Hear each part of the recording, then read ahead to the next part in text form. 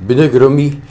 در نتیجه ضربات کوبنده قوای هوایی کشور و نیروهای امنیتی در تبانی با خیزش های مردمی 22 تن از ترورستان با شمول دو فرمانده برجسته آنان کشته شده که ایسادشان در میدان نبرد باقی مانده و بیش از ده تن دیگرشان زخمی بر... زخم برداشتند.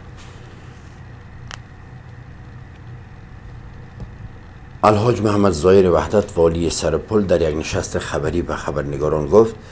در نتیجه درگیری میان نیروهای امنیتی و ترورستان مواضع مهم آنها در ارتفاعات مرزاولنگ در هم کوبیده شده و به دست نیروهای امنیتی و خیزش های مردمی قرار گرفت. وحدت افزوده است در این درگیری ها که بیشتر چرخبال های قوی اوی کشور نقش سازنده را بازی کرده است. جسد 22 تن از ترورستان به شمول دو فرمانده برجسته آنان به نام نادر و امیر محمد در میدان جنگ باقی مانده است و احتمال دارد که آمار تلفات بیشتر از این باشد و بیش از ده تن دیگرشان به شمول برادر قاری شیر محمد غزنفر فرمانده گروه داعش زخم برداشته است.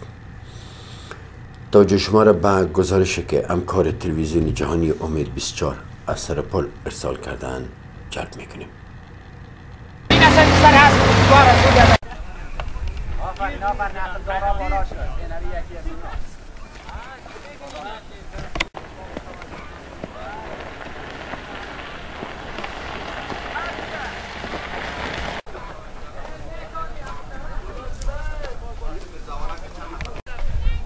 کلش مش پتونه کلش مردش نمانده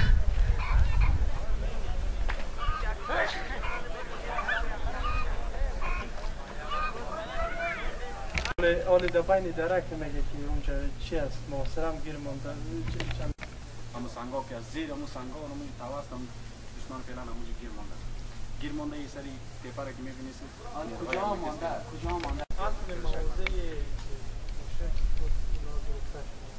حاکم گرفته شده محکوم برای طرف دشمن است هدف اساسی نیروهای یعنی نیست که از این جذبه تشکیل جمع شود سنگرهای بسیار مستحکمی را که دشمن در ارتفاعات مرزاولنگ برشان درست کرده بود. اونا توسط حملات هوایی و زمینی در هم کوبیده شد